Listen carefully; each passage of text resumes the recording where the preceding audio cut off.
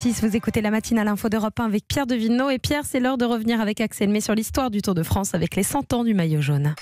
Le maillot jaune, vous l'estimez toujours bien accroché à vos épaules. Un nouveau maillot jaune sur le Tour. Europe 1 célèbre les 100 ans du maillot jaune. Nous sommes à 200 mètres de l'arrivée. Ils avaient tous confiance en moi.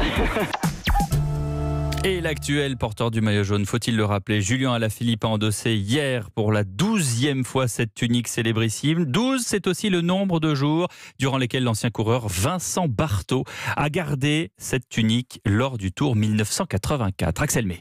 À 22 ans, Vincent Barthaud découvre en 1984 le Tour de France et au bout de quelques jours, voici le coureur normand au faux air de l'acteur américain Nick Nolte en jaune. Donc je découvrais un peu euh, une épreuve de trois semaines, c'était pas forcément évident. J'avais des grands leaders dans l'équipe euh, qui s'appelaient Laurent Fignon et, Greg Lemon et euh, j'étais souvent lui. À un moment, Greg me dit ah, Vincent s'arrête très bien, puis c'est. On fait voir à tout le monde qu'on s'arrête et on entend attaque au peloton, attaque au peloton. aussitôt, on est remonté sur le vélo et j'ai ramené Greg dans les premières positions sur un faux plat je, vois un mec qui bascule le faux plat au loin là-bas et je me dis putain c'est lui qui a attaqué, ça ça m'a vexé.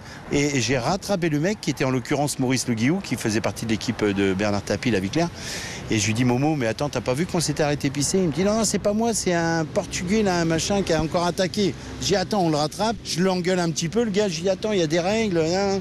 et puis à un moment il restait quand même plus de 200 km, je dis à Maurice bah, allez on, on se relève et là, le Guillaume me dit non, non, on se relève pas, on, continue et, et nous voilà partis. On est monté jusqu'à 28 minutes d'avance et on a fini à 17 minutes d'avance et, j'ai pris le maillot jaune à Sergi Pontoise. Vraiment de la chance. Vincent Barthaud gardera ce maillot jaune 12 jours durant. 13 se plaît-il à corriger, toujours malicieux car je compte la journée de repos.